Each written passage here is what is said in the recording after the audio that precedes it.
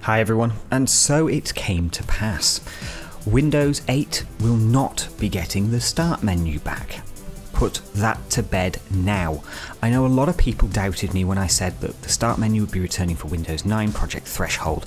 People said, no, no, Microsoft has said it's coming to Windows 8.1.2 or whatever stupid update name they've come up with. No, it isn't. The update for Windows 8 is going to be a very minor set of security and bug fixes no new features and no major tweaks or changes coming through. Those are being saved for Windows 9. Now, the reason for this is pretty simple. You don't give people what they want for free. Duh, this is Microsoft we're talking about.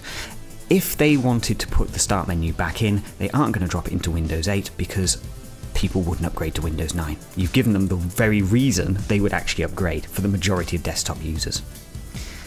So, from Microsoft's point of view, it would be dumb to give people what they want without charging them for it, something you can't do with a service pack or an update.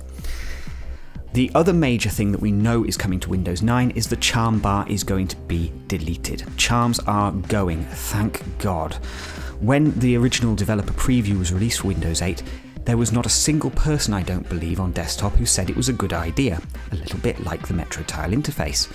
Charms effectively use a hot zone, which you've got to put your mouse cursor into, which means it doesn't work on multiple displays particularly well. In fact, it's generally broken. Every user I have seen who's attempted to get Charms working for them on a desktop environment has come away feeling that it's a broken metaphor. It doesn't actually work and it doesn't solve any problems. And actually, when I've used it on touch, it's a broken metaphor and it doesn't work. You know, it really is one of those ones where Microsoft kind of just picked the only way of doing it that nobody else had picked yet. You know, great one, Microsoft, presumably trying to avoid a few uh, patents there, maybe. But really, what we have going on here is Microsoft sorting its house out and deciding what features will make its way to Windows 8.1 update, dropping in August, absolutely none, and holding everything over for Threshold so they can have a big bang and give people a reason to upgrade. All of this makes perfect sense if you understand the history of Microsoft. So, what I would say is when you're watching videos related to Microsoft and uh, Windows and Xbox and so on, uh, don't doubt me because I've been watching this industry and Microsoft in particular for probably close to 25 years now. I know how they think and I know how their product ranges tend to drop down. So, all of these things are absolutely what we expected from Microsoft. The start menu was never coming to Windows 8. The essentially Windows 8 now is done in Microsoft eyes. They are going to only push out some security updates as and when they need to, but the majority of the changes now are all for Windows 9 because they need to give people a reason to upgrade.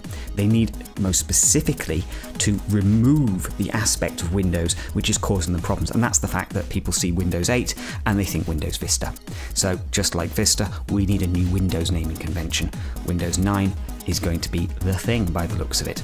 This, for Microsoft, is fairly standard practice when they have a product that fails in the market after a little while, they release a new, better, and improved product and try and forget the old one even existed. Nothing has changed at Microsoft very much, even with a new CEO in charge. It is business as usual for Microsoft, and we can predict that down to a T. Thanks for watching. Do please subscribe to us on YouTube and Twitch, and please like and comment on these videos as well. We love to chat.